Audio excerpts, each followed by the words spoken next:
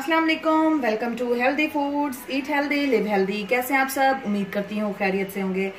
आज मैं आपके लिए ईरानी चिकन कढ़ाई की रेसिपी लेकर आई हूँ, जो कि बहुत ही इजी घर में आप इसको बना सकते हैं। कम मसालों से ये तैयार होती है, जिसके लिए मैंने हाफ़ के जी लिया है चिकन। लेग पीस पे लगाए हैं मैंने कट ताकि मसाला जो है इसमें अच्छे तरीके से जज्ब हो जाए और ये जल्दी से गल जाए। तीन से चार मेरे पास है टमाटर और तीन से चार मेरे पास है कटी हुई प्याज। बाकी मसाले जो हैं वो हम ड्यूरिंग रेसिपी डिस्कस करेंगे। जी, कढ़ाई में मैंने लिया है हाफ़ कप ऑयल अब मैं इसमें डाल दूँगी चिकन फ्लेम में कर दूँगी मीडियम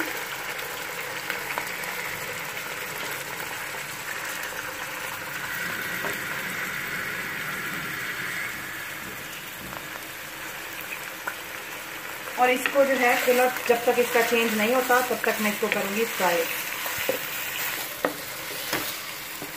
चिकन हमारा हो गया फ्राई अब मैं इसमें डालूँगी अदरक, लहसुन वन टेबल स्पून मोटा मोटा मैंने इसको कूटा है. और इसमें डालूँगी मैं हाफ़ टी स्पून जो है, वो हमारे पास इसमें जाएगा ज़ीरा. भूनते हुए मैं इसमें ज़ीरा और हाफ़ टी स्पून मेरे पास है नमक. ये दोनों डाल दूँगी भूनते हुए और इसको मज़ीद दो से तीन मिनट जो है वो मैं इसकी अच्छे तरीके से बुनाई करूँगी। ईरानी कढ़ाई आप घर में बनाएँ होटल रेस्टोरेंट को भूल जाएँ। चिकन हो गया हमारा फ्राई अदरक लहसुन का पेस्ट और ज़ीरा और नमक। नमक मैंने पहले इसलिए डाला है ताकि बोटियों को जो है वो अच्छे तरीके से नमक लग जाए, बोटियों में जज्ब हो जाए। बहुत ही इससे ज़बरदस्त टेस्ट आता है। अब एक मेरे पास है दालचीनी का पीस, वो डालूँगी और दो मेरे पास है लौंग, वो मैं डाल दूँगी। मिक्स करूँगी इसको। और मैं इसमें डालूँगी दो से तीन कटी हुई प्याज, क्योंकि अमूमन ज़्यादातर कढ़ाइयों में जो है वो प्याज नहीं डलते, क्योंकि ये ईरानी कढ़ाई है, इसलिए इसमें प्याज यूज़ होंगे। और डाल दूँगी साथ ही इसमें मैं टमाटर। इनको करूँगी मिक्स। पुरानी कढ़ाई में प्याज डलते हैं, बाकी किसी भी कढ़ाई में प्याज नहीं डलते। फ्लेम मेरी मीडियम है, अब फ्लेम करूँगी मैं लो और ढक्कन ढक के इसको पाँच से सात मिनट रख दूँगी, ताकि टमाटरों का पानी भी निकल जाए। चिकन गल जाए और टमाटर और प्याज हमारे जो है वो नरम हो जाए अच्छे से।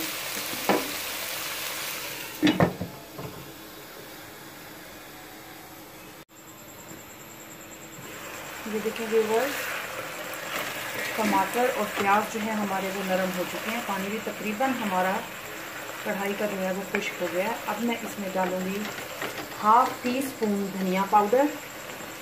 मिक्स करूँगी। फ्लेम करूँगी मैं मीडियम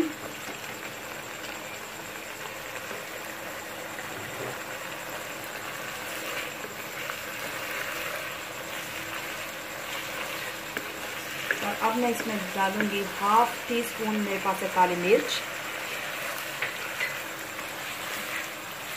साथ साथ हमने इसकी भुनाई भी करती रहनी है।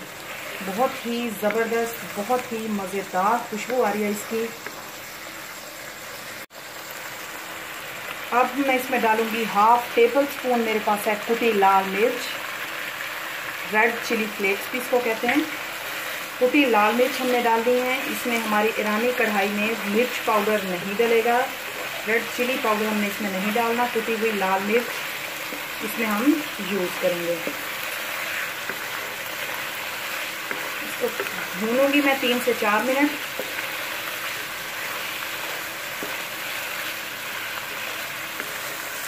ताकि इसका ऑयल जो है वो चिकन छोड़ दे अपना ऑयल दो से तीन मिनट इसको अच्छे तरीके से मैं भून लूँगी।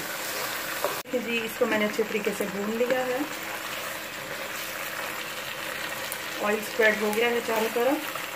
कढ़ाई में अब मैं इसमें से जो दाल चीनी का पीस है वो मैं निकाल लूँगी, क्योंकि हमने इसका टेस्ट लाना होता है।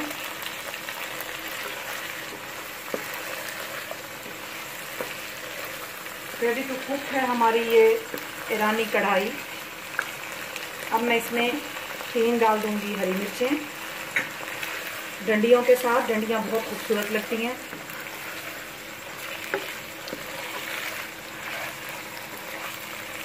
ये देखिए। रेस्टोरेंट जैसी ईरानी चिकन कढ़ाई हमारी रेडी है। आपको अब होटल्स या रेस्टोरेंट्स जाने की ज़रूरत नहीं। जैसे कि लॉकडाउन चल रहा है, आप घर में बनाएँ। सेफ़ रहें, घर पे रहें, अपने हाथों से खाना बनाएँ और मज़े मज़े से खाएँ। चले जी, अब फ्लेम में करूँगी ऑफ़। और ऑफ़ करते हुए ही इसमें मैं एक लेमन का जूस डालूँगी। बिल्कुल आपने एंड पे डालना है, जब आप फ्लेम करेंगे ऑफ़।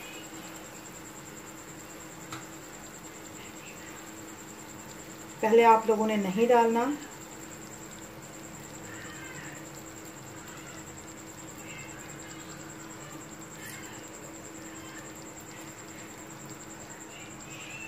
इसके मैं बीज निकाल दूँगी।